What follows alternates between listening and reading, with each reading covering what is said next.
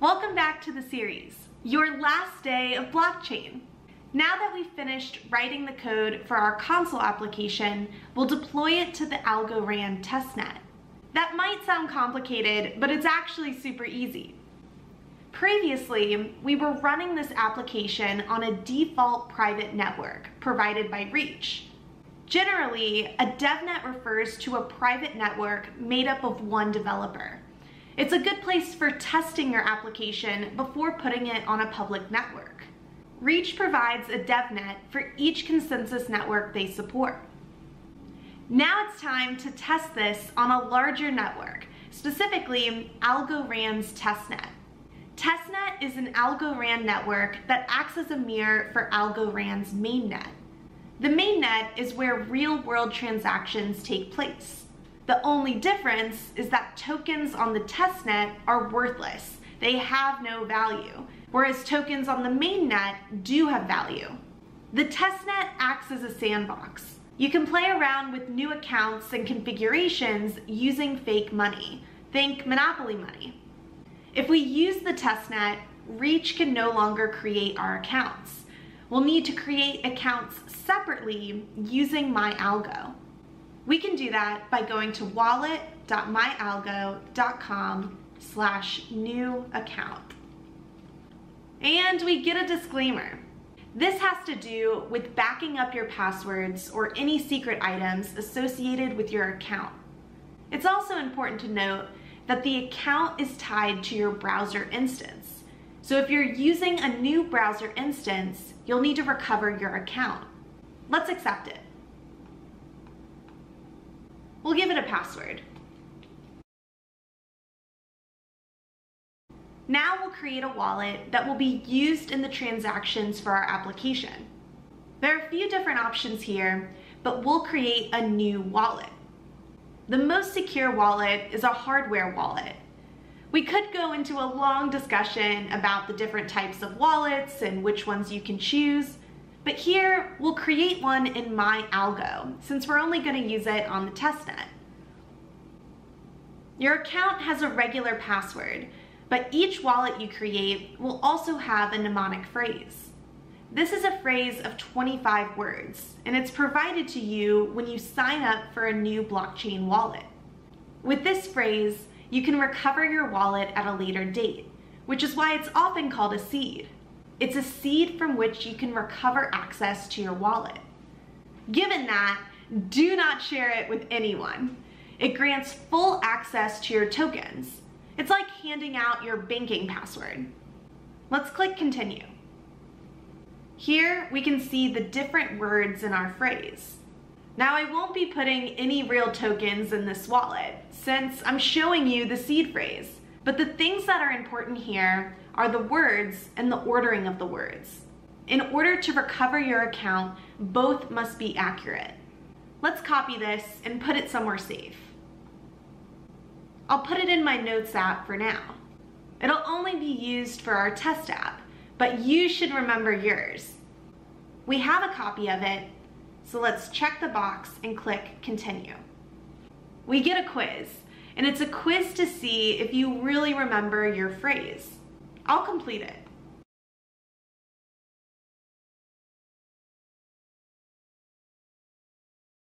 We'll refer to this wallet as Alice. We'll create a separate Algo account and a separate wallet for Bob. We have an account and a wallet for Alice. Let's switch over to the testnet. Instead of the mainnet, we'll select testnet no transactions yet. We also have zero tokens or zero algos. Let's fund our account with some money. We'll go to bank.testnet.algorand.network. Here, we can put some tokens into our account on the testnet. All we have to do is put in our wallet address. If you remember from the first video, the way we send transactions on the network is by sending them to an address, similar to an email address. Our address is at the top of our wallet.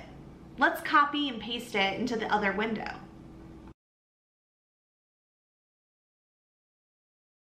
we get a status code of 200. This means success. At the time of recording, this will put 10 tokens into our account for testing. If you received a different status code, make sure you copied over your wallet address correctly. We now have 10 tokens in our account. We also have a completed transaction with an identifier. It shows 10 tokens coming from Algorand. Let's click the identifier.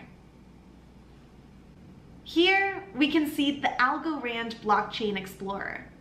We can see all the transactions taking place on the testnet.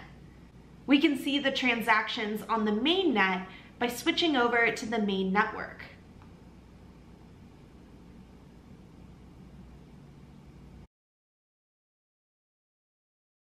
Look at all these transactions coming in. If you're not seeing the 10 tokens or the transaction from Algorand, make sure you're still on the testnet. So we've created Alice's account, created a wallet for Alice, and funded it with 10 tokens. Let's do the same for Bob. We'll need to use a separate browser instance. This could mean opening up a different browser type, such as Safari or Firefox, or if you're using Google Chrome, creating a separate profile will do the trick. Let's use Safari.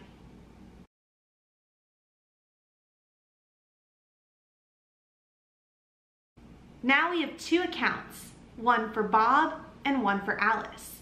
They also have their own wallets funded with 10 tokens. In order to run our application on the testnet, we'll need to make some configuration changes.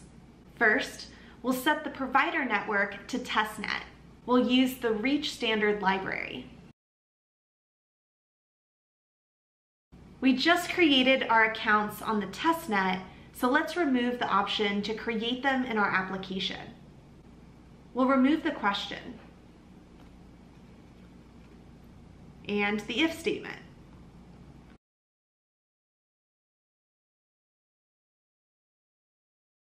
Previously, we linked the account using an account secret. To link the testnet account, we'll be using the account's mnemonic. So instead of from secret, we'll say from mnemonic. That's it for the code. In addition to this, we'll also need to make some changes to our environment. Specifically, we'll need to set the connector mode to Algo Live. We'll do this for Alice, and we'll do this for Bob. This will be read in by Reach so that our application is deployed and run on the testnet. Let's run our rock, paper, scissors application on the Algorand testnet. Let's start with Alice. Reach run. And to make this a little more visual, we'll have Alice on the left-hand side and Bob on the right. We'll say, this is Alice, and we'll paste in the mnemonic. In order for it to be read incorrectly, we'll need each word in the mnemonic to be separated by spaces. So we'll remove these commas.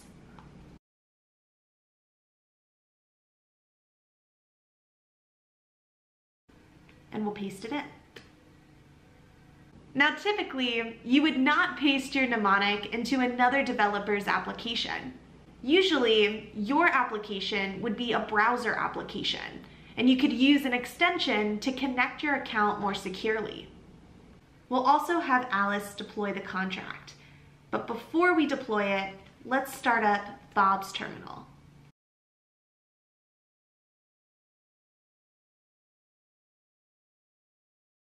and we'll paste in the mnemonic. Again, no commas in between, only spaces.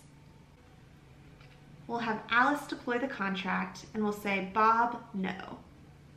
Now, in deploying the contract, we're actually deploying the application. It's a contract that happens to have the rules of our application within it. We'll wager five tokens.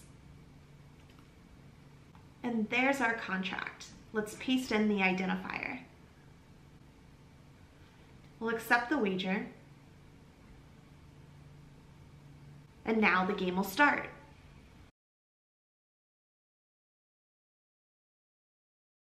Alice will play rock. And we'll have Bob play paper. Bob will win this round.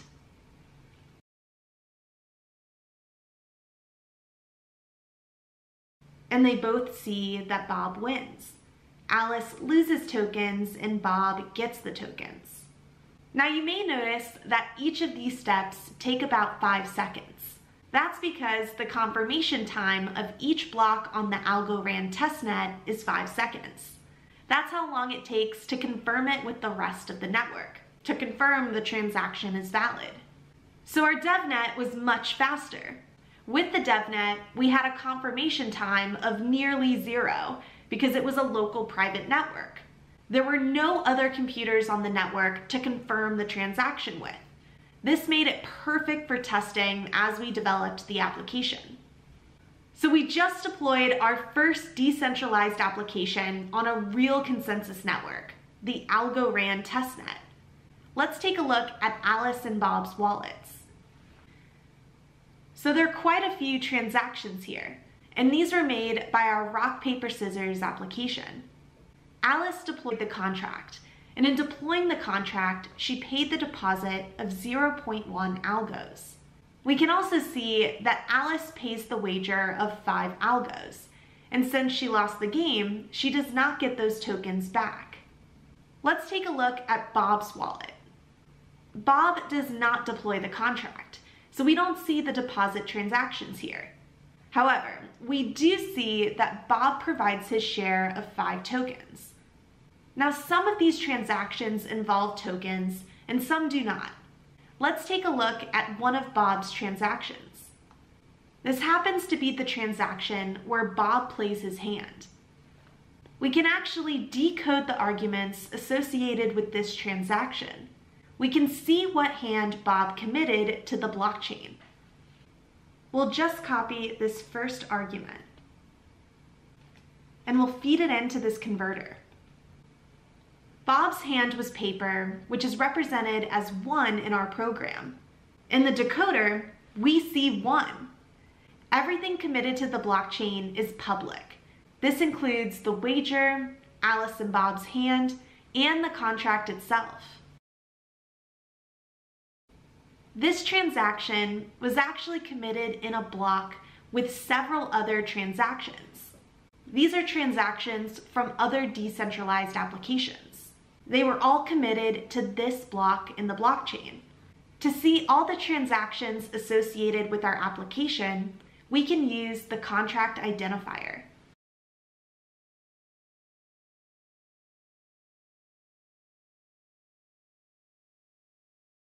This is all the blockchain activity associated with this contract, with this application. Isn't that so exciting? So where do we go from here? Reach has a ton of resources to help you continue in blockchain development. You may want to take a look at their workshop page. This provides a series of projects you can do to practice and learn Reach. Another option is to take a look at the guide. Learn about the background of some of the concepts used in Reach programs. You could also dive into the reference and look at the minute features of Reach. Instead of using JavaScript, you could also use a different technology for the front end, such as React or Python. Congrats on finishing the series! I really enjoyed creating it, and I hope you enjoyed creating your first Algorand decentralized application with Reach. If you have any questions about blockchain development, please join me in the Reach Discord in the Days of Blockchain channel. I'll see you next time and happy coding.